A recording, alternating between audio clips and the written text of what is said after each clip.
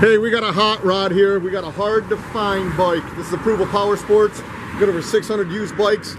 We got over 400 used Harleys, guaranteed financing, leasing programs. One we're doing a video on is a 2013 Harley Davidson Road Glide CVO. So this is kind of cool. It's 110th anniversary.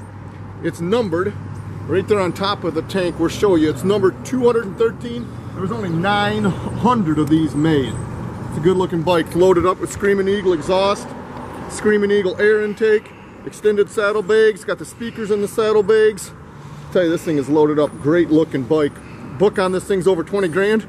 We got a price right, 15,900. You guys stand out from the crowds on this 2013 hard to find 100th anniversary, 110th anniversary CVO.